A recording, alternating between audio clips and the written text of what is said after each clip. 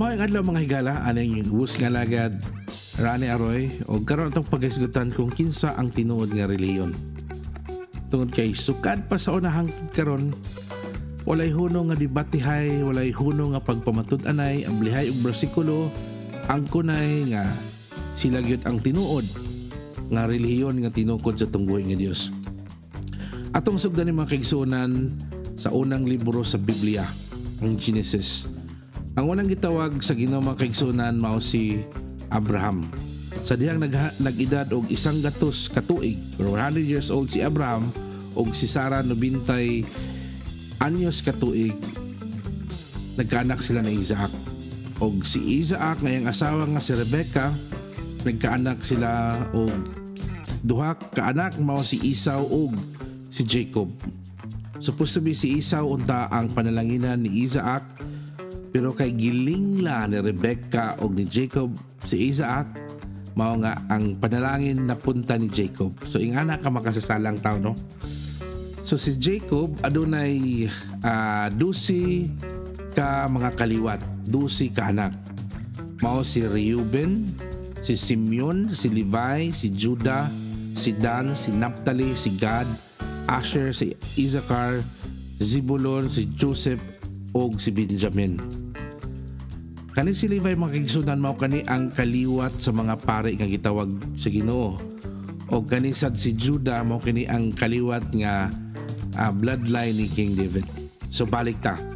So ang mga Israelite mga kaigsuunan uh, si Jacob adunay dusi ka mga anak. So sa kadlaw nakigaway siya sa Israel sa isa ka anghel dahil nailista ng iyang ngalan og Israel. So munang sila ang iyang mga kaliwat gingalan og Israelites. So ang Israelites na under sila sa mga Ehipto or Egypt for how many years napunta sa dito? Kay dahil dako kayo nga famine, kalisod. So si Joseph na una dito, yang gitabangan ang iyang mga igsoon, ang iyang kaliwat napunta sila sa Ehipto. Pero niabot ang time nga nagkadako ang number sa sa mga Israelites na hadlok ang mga Ehipto so gihimo nila nga slave sulugoon. Gi uh, hatagan sila kalisod sa mga Egypt, Egyptian.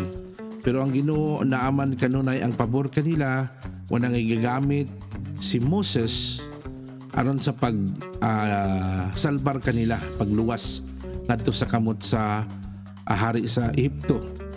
So karon naghimo og daghang mga milagro ang Ginoo og usa nga pinaka major nga milagro nga dako kayo impact is ang pag-abli sa uh, natunga ang dagat og nilabang sila ngadto sa dagat og napunta sila ngadto sa uh, wilderness or sa kawanangan for 40 years. Tungod sa kagahi usab sa ulo sa mga Hudiyo nga gipakita unta naman sa Ginoo unsang iyang gahom pero ana man ginang tao no gahig ulo so muna ang wingon ta kung ang, ang bata gani di ba makadumdum pata kung gahig ulo ingon ka Hudiyo gyud dako sa karon mga kaigsoon to make the story short kung adunay relihiyon nga mo claim nga tinuod nga naagid ang Ginoo nagaban nila walay lain kundili ang mga Israelites. So dito sa dito sa wilderness makigsunan sa kawanangan dito unang nagitudluan sila kung saan pag simba sa Ginoo pag worship. So nagtawag sila og uh, ang unang mga pari. So ang ang ang trabaho sa pari pagdala og halad ngadto sa atong Ginoo, magdala na sila burnt offering, na na sila temple nga gihimo, then maghimo na sila sacrifice. Unya gitagaan sila na uh, mga sugo sa atong buhi nga Dios si Moses. Og ang highlight ana ang napulo na Ten Commandments. Dila na siya Ten Commandments daghan na siya mosaic law. Pero ang mga tao gahi yun kayo gulo. Muna nga um, na-stuck sila dito for 40 years. Pero ang Ginoo wa man gyud mausab gihapon nagid kanunay kanila So muna nga wala sila nakaabot dito sa promised land. So makita na to mga kaigsunan nga kung mo claim nga tinuod nga relihiyon ang unang mga pari nagitawag sa Ginoo ang mga Hudiyo. unsaon man nato nga pagpamatod nga kita ang Hudiyo? Ang simbahan na tukod sa Pilipinas. Ang uban naa sa Roma. Ang uban naa sa Amerika. Kung kada atong basihan ng relihiyon ba? Kung maghisgot tag relihiyon. So kung naay manggali katungod nga mo angkon nga silang tinod nga relihiyon mo na na ang mga Hudiyo kay makita nato diha nga ang Ginoo nagawa nila. Pero ako pong nabas, nabantay no ang mga Hudiyo wala wa ako kadungog nga nakigdebate nga silang tinod nga relihiyon kanino ang mga mga hintil outside sa sa mga pinili sa Ginoo? Kita noon ang sigig away lalis o si tinuod nga relihiyon Muna makigsuunan, mi anhi si Ginoo sa Kristo diri wa siya magdalag relihiyon. Nangita siya mga disipulo nga naman. Pag anhi niya diri sa kalibutan, ah nakahimo pa dahil sila at atong ibalik. So after 40 years nila sa wilderness, wala kaabot sila sa ang uban wala nakangadto sa sa promised land si ang ang leader nila is si Moses ug si Aaron pero ang ilahang ang successor ni Moses is si Joshua kabulota mga kaigsunan sa tanang away ni Joshua wala gipildi si Joshua. Nagkigaway na siya nilagawa sila sa wilderness. Kaya hadlok magod ang mga Israelites kay ay mga higanti no? Pero si Joshua dako yang pagtusig. Sa tanang away ni Joshua wala gyud sila pildi. Kay ang ilang hari nga ang Ginoo nagawan kanila so karon the story short nahimo sila nga uh, human ang, ang ang sa time nga na, na spread ang mga Israelites ngani sa is, sa Israel sa mapa sa Israel na makita na na, na sila una nga hari. Naghimo sila yun sila nga Ginoo nga naman nga ang ubang mga nasod naman sila or ubang mga pundok naman sila hari nganong kami walay hari. Ang ingon sa Ginoo kay gusto niya nga siya ang hari munang wala sila hari. Pero nangayo man sila hari gitagaan sila og unang hari mao si King Saul pero si King Saul usab nga gahig ulo usab nga badlungon di isad maminaw sa Ginoo. Wala nga unang hari nila si King Saul is kaliwat na siya ni ni Benjamin. So karon uh, si after the King Saul si King David. Una siya ang gipili nga hari nga sa Ginoo. Pero si King David di siya pwede makahimo og anang temple kay daghan mga napatay si si King David. So iyang gihatag, gihatag ang pabor sa Ginoo siyang anak nga si King Solomon. Og si King Solomon nakahimo siya pinaka the best nga templo sa Jerusalem sa iyang time for 9 years. Simba sila dito na sila yung mga uh, musikero mga uh, pari na nang ilang pagdaig sila for 9 years. Pero kay si King Solomon mo lagi ang tao mangod grabe ka makasasala di makontintyo nakaasawa siya og 700 ka asawa og 300 kakabit wow. Og iyang mga gipang-asawa mga princess sa mga lahi-lahi nga mga pagan sa dagan sa gipang-asawa. Muna ang nahitabo ang kingdom ni King David na nga into two kumunang north ug south. Nya ang north na sila mga ha, uh, mga hari dito nga nang diri sad sa ubos mga hari nga nang labay. Nya ingon ang Ginoo nga mubalik sila ang ilang pagtuo ngadto sa Ginoo pero nawala man gid ilang pagtuo sa Ginoo. Mo nga nagsimba sila lahi-lahi nga mga dios mga pagan naghihimo sila uh, simba sila kang Baal okay. So karon ang ang ang kingdom ni King David ang templo nga nindot kay nahanaw na siya makigsuunan nawala. Na vanish. So ang north na uh, captured sila sa sa Assyrian og ang ang south ang ang north ginganan og Israel kingdom ang ang south ginganan og Judah. Okay so ang north na una silang na vanish na captured sila sa Assyrian ang ang south na captured sila sa Babylonian. So nawala. Kaya naman grabe ka makasasala ang tao gay ka badlungon so nawala na siya Pero tungod kay ang pabor na agyapon kanunay kay mo man ang promise sa Ginoo kanila, ang Ginoo naghatag og pabor sa kinabuhi ni Esther. Siya ang unang ang siya ang Jewish nga nahimo nga queen sa Babylonian. Persian. Og siya ang gigamit usab, usa sa gigamit sa Ginoo nga ang mga Israelites na balik diri ni sa Jerusalem. So nagpadayon nabalik ang ilahang nabalik ang ilahang ang ilang relihiyon, hinahinay.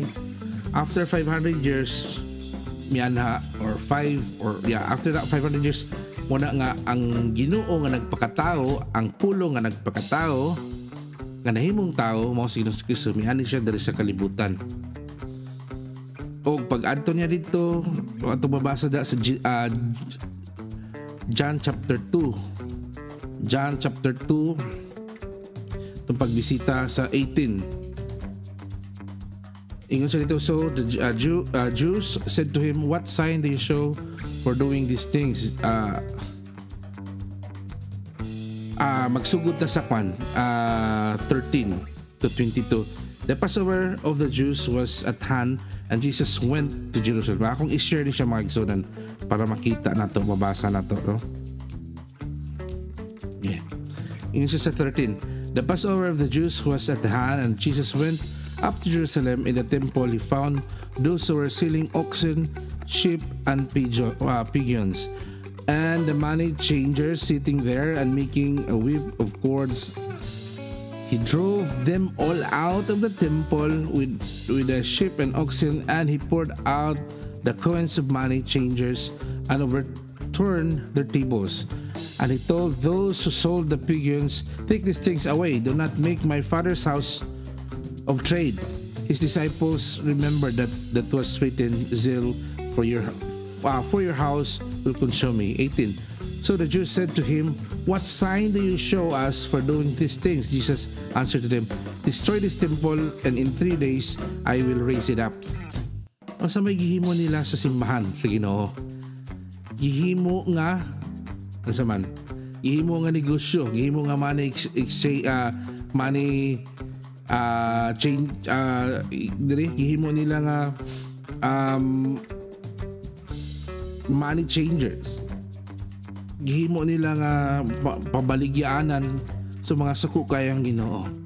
Munay munay resulta no nga um, pag mudako gani ang simbahan, ginahimo og negosyo, Una nga uban mingon sila nga simbahan mga professional beggar.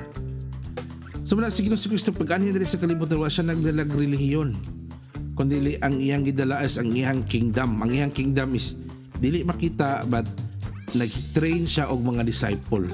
Una nagtawag siya og mga disipulo. Nya ingon siya uh, ingon siya sa 18 no, ingon adre ah, atong balik. 18 siya nga destroy this temple and destroy this I will raise it up it's impossible. Makingan ang, ang mga Hodeo gi English for the Jews said it has taken 46 years to build this temple and will you raise it up for 3 days? Grabe no? Uh, group 1 ni Jesus Christ ang templo niya yang itukod in 3 days. Nga naman. Kaya ang templo nga itukod ni Jesus Christ it's not about the building. Pero ang iyang gitukod nga kingdom is ang kingdom nga where we belong. Nga kung motuo og modawat ta kang Ginoong Kristo, mabilong ta maparta ni nga kingdom, the invisible kingdom. Una siya nga invisible church. So any person mo na nga sinikili mo sa chapter 3 nangutan na siya, how can a man can enter into the kingdom of God?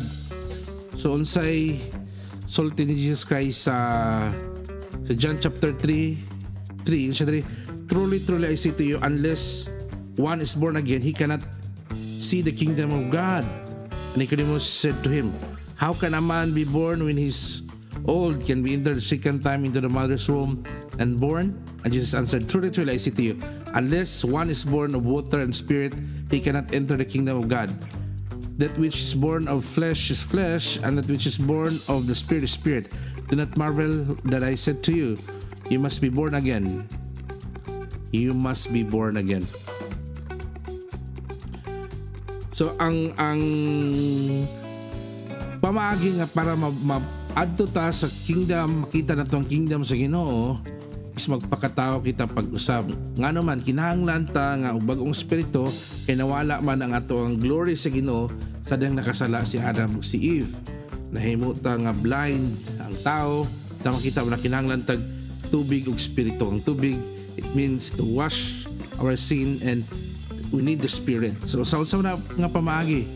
Sa dihang mutuuta nga si Jesus Christ is Christ, Jesus is Christ ug siya ang anak sa Ginoo nga gipadala nga siya ang Misaya, siya ang manluluwas, siya ang siya ang the anointed one nga siya ang atong savior.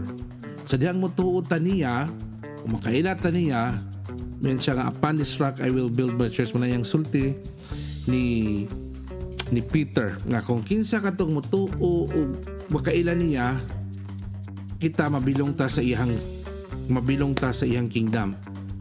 Kay ang atong lawas mao kani ang templo. Muna nga sa iyang sa iyang Great Commission makigsuno sa mingon nga go plant a church o go paghimo mo religion wala siya go make disciple maghimo tag disciple atong tudluan ug atong bautismo sa ngal sa man sa anak espiritu. Paghimo og disciple nga sa dihang mosangyo ta niya sa dihang kinsa tong tawo nga motug mo dawat ning Hesus Kristo mahimo nga iyang mga anak mahimo nga mabilong sa iyang nga kingdom. Muna nga ang kingdom ang simbahan ni Hesus Kristo undestructible na siya. Dili na siya mabungkag. Pero unsa maning mga uh, gitawag na tong mag-angkon nga kami ang mga reliyon nga na so si sa dihang normally Israelites ang pinili sa Ginoo. Pero pasalamat ta nga tungod sa dako nga gugma sa Ginoo ang kaluwasan napunta usab kanato nga mga hintil. Mao na si si gigamit sa Ginoo nga masangyaw ang maayong balita nga ni kanato gigamit si Paul. Gigamit sa Ginoo nga nagsangyaw sa mga hintil. So muna nga dito sa Roma adunay mga uh, adunay mga tao nga nito ni Jesus Christ gitawag silang wa sila wa sila laing ngalan ang ilang lugar lang. Gikan sa mga magtutuo sa Roma magtutuo sa mga taga Corinto magtutuo gikan sa mga taga Galacia magtutuo gikan sa taga Ephesus magtutuo gikan sa Philippians o magtutuo gikan sa mga Kolos sa Kolosas ug sa mga taga Tesalonika muna ang mga lugar nga gipang uh, sangyawan ni ni Apostol Pablo o nag na uh, adunay mga uh, natuo ni Jesus Christ o mga follower ni Jesus Christ. Muna kita nga mituo ni Jesus Christ, gitawag kita og mga Christian, follower of Christ. Nya karon ang ang awkward kay kita nga mga Kristohanon, kita nga mga Christian, kita pa ang sige og debate pamatud-anay nga tinud nga relihiyon So makigsunan si Jesus Christ wa siya magdalag reliyon kundi lang iyang kaugalingon nagpakatao siya aron masakripisyo ang iyang dugo aron makabaton kitag kaluwasan aron mabilong ta siyang kingdom. Ang atong lawas mao kini ang templo makigsunan kita nga mga magtotoo kung tinuta nga nagtug na dawat niya bilong ta siyang kingdom. So naay mga makita nato nga mga local churches para sa nang mga Baptist or uh, evangelical Roman uh, Roman Catholic or unsa pang mga Sikh Christian sekta diha ka kung tinuod ka nga nagdawat ni Ginoong si Kristo where belong to his kingdom? Belong taniya unang tinuod ni simbahan. Dili kay mag-away ta. So tanaw na to makigsunan ang ang mga relihiyon no? Akong ipakita sa inyo ha Muni ang mga relihiyon uh, for uh, major religion sa tradition sa tibok kalibutan og kani siya nag na, siya mga sanga-sanga. So kita na bilong ta diri sa Abrahamic kay nagtuo man tag Biblia. So gikan ta ni Abraham. So ang uban sa Astronic, sa Dharmic or Taoic. So na, na sila yung mga uh, lahi-lahi nga Ginoo, lahi-lahi sila uh, tinuhuan. Pero tanaw na to diri sa Abrahamic no. Diri sa Abrahamic so ang unang ang unang pundok nga gitawag sa Ginoo ni ang mga Judaism, ang mga Hudiyo. So normally ang Ginoo si Jesus Christ unta nag nagpakatao ron ang tanang tao maluwas pinagi niya pero sad to say ang mga ah, Hudyo ang tugkaron nagyapon mo to niya muna nga na ang Christianity. So kaning mga Christianity kita na nga nagtuo nga si Jesus is Christ. Nagtuo mga follower ta niya. So kita ni Christian niya kita pa ang sigig away sigig lalis sigig pagpamatud-anay nga kinsay tinuod. Wala kita mga kaigsunan muna nga ang tinuod nga anak sa Ginoo tinuod nga disciple sa Ginoo kinsa katong nagtuman sa iyang sugo. Kinsa you are my disciple if you love one another. The, the new commandment is given is to love one another. Kinsa itong naghugma na respeto sa usag-usa. Uh, wala siya Islam wala siya ang sequence. Pag sa Christianity after 400 years or 500 years sa Christianity niabot ang Islam and then ano siya daghan na dayon. So Christianity nagdaghan kay tunga-tunga na siya. So karon angay batang mag magdebate dita angay magdebate mga kigsunan supposed to be magtinabangay ta sa pagsangyaw sa mga balita so to makita karon man ang ang percentage sa tibuok kalibutan so as of now dak, dako paghapon ang grabe ang impact ni Jesus Christ no still 31% ang ang gidaghanon sa sa Christians. Pero hopefully ang tinuod nga kanang nagsunod sa kabubuton sa Ginoo ba pila ka. So ang Islam na sila 24%. So wala siya mga kaigsunan ang mga religion karon. Ya makita. So ang ngayon bata nga magdebate mga kaigsunan, di ta ngayon magdebate kundi magtinabangay kita. Kung unsa imong nakatunan diha mag-share kasi nindot kay paminaw di ba? Magtinabangay mag-share dili mag-away. Atong isang yaw ang Christianity atong isang yaw. Kung kinsa sa Ginoong sa Kristo napoy uban mingon sila nga um asa sunod na lang na siya. At maghisgod ko maghimo ko glay na sa nga video uh, video about yung Jesus Christ. So mga, mga kahigala kaigsunan ako mga pagampo nga uh, magtinabangay kita instead og magdidab, uh, mag-awayay magdebatehay kung kinsang tinuod nga relihiyon. Kaya ang tinuod nga adunay relasyon sa Ginoo ang tinuod nga nagatuman sa sugo sa Ginoo mao kana ang importante mga dili ang relihiyon. Mayang adlaw sa tanan ako mga pagampo nga ang Ginoo kanunay magapanalangin kanato. God bless